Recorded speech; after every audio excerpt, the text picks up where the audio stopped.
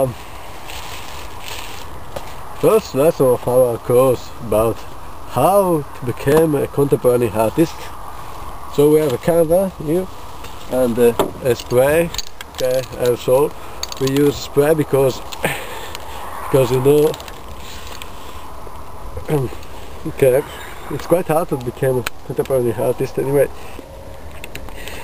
You know we use uh, spray because it's easier with spray and contemporary artists are lazy and especially they don't know how to paint at all so this is the most difficult part of the work because you have to find the right way to spray all the stuff.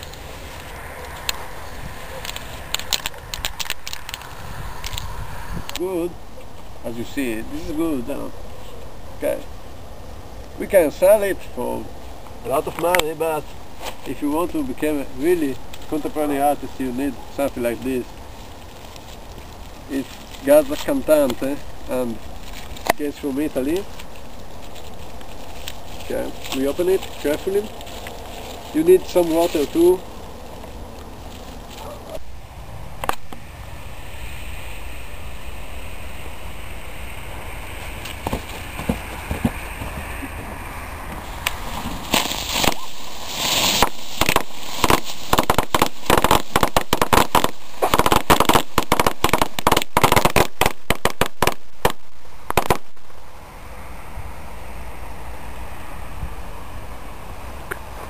Oh, it's cool.